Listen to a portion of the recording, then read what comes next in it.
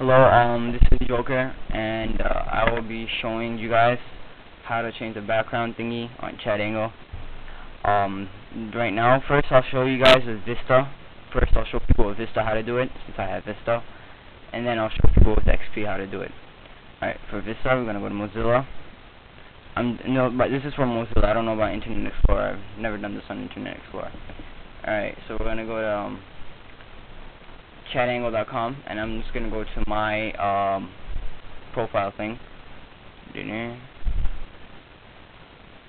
And okay.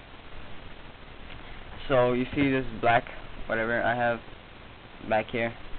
It's usually much uh, bigger like it surrounds everything. Um, it's usually more black but just because I put my screen resolution to like the highest so everything can be really big so you guys can see that's why it's like this. So uh, first, if you want to do this, you go to Tools. This is for Mozilla Firefox on Vista for Vista users, right? You go to Tools, you go to Options, right? And then you'll see Fonts and Colors right here. Okay.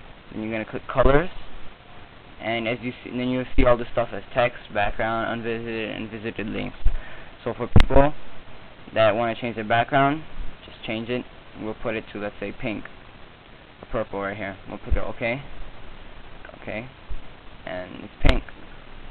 And then we can also go to options, colors, and put it to let's say green. Okay. Okay. Voila. There you go. But I want to have it black.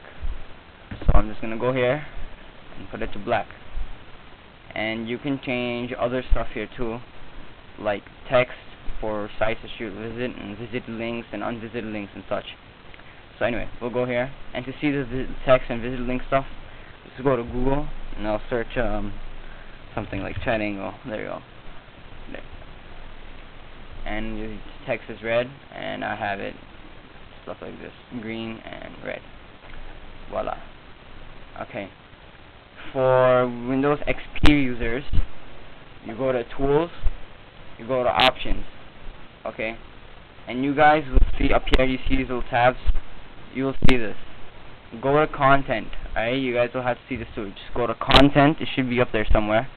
And you'll see the same exact window right here. And you guys can do the same exact thing. And you can get your little profile thing. Uh, and that's how you do it. And my name is Hold Joker, as you guys can see. So, voila. Thanks for watching. Hope something helped. And see ya.